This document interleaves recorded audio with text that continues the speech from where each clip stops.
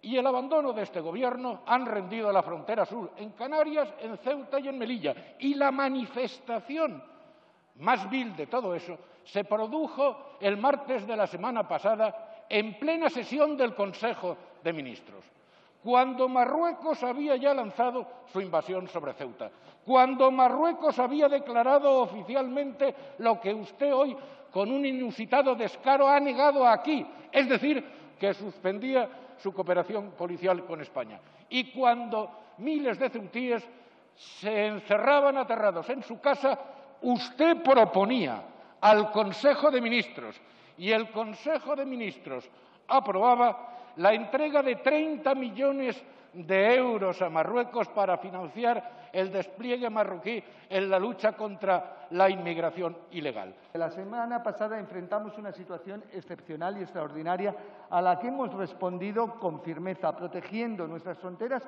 y nuestros valores democráticos, de los cuales ustedes se encuentran extramuros. Y lo hemos hecho de una forma rápida, coordinada, eficaz miren, gracias a las fuerzas y cuerpos de seguridad del Estado, a las Fuerzas Armadas y a todas las organizaciones civiles que también trabajan en primera línea de la acogida.